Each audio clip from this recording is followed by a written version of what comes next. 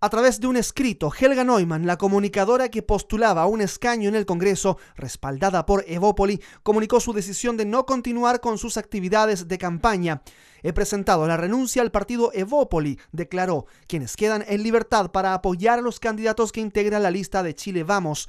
En el mensaje, Neumann pide el respeto necesario frente a esta decisión que obedece a razones estrictamente personales en la colectividad respaldan a la candidata. Bueno, eh, nosotros evidentemente estamos enterados de la decisión de Helga y nosotros como partido respetamos su decisión porque ella se retira por motivos netamente personales y nosotros por respeto a la militante eh, no nos queda otra que aceptar su bajada de candidatura. Ahora, por ley, esto va a seguir apareciendo en la papeleta y bueno, ahora nosotros tenemos que determinar qué vamos a hacer con respecto a esta situación.